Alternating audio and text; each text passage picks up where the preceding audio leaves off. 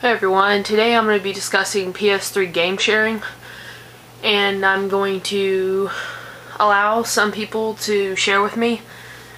Um, if you're interested after this, just post a comment of what games you have and your PSN and then I will contact you on PSN or a personal message on YouTube.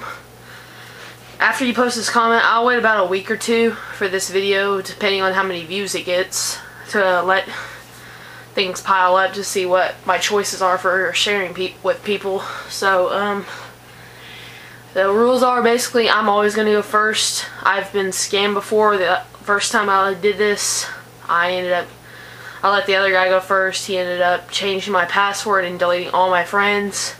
Most of the friends I haven't gotten contact yet. So if you've added me on PSN and I deleted you, I guess, I really didn't delete you. So please send another friend request I know I had quite a bit of YouTube people that wanted to be friends with me on here, so yeah, if you see this video, please send another friend request. But this happened like three months ago, so I don't know.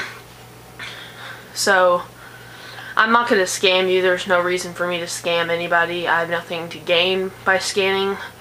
Before you even do this, you shouldn't even have your credit card information on there, so totally delete it before you do this and then change your password after we do this or change it before we do it and then change it back to your original after we're done.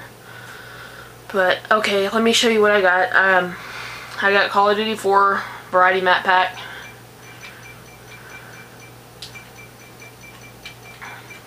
The Shivering Isles expansion pack for Elder Scrolls 4 Oblivion. Uh, Ragdoll Kung Fu Fist of Plastic. And then Resident Evil Director's Cut uh, PS1 Classic so if you're interested in these, just leave a comment with what games you have and a PSN ID. You can also trade with other people that post comments on there too. This is like a forum or blog or whatever about, you know, just trading. So trade with anybody else, it don't matter. Trade with me if you're interested in my things. Okay, so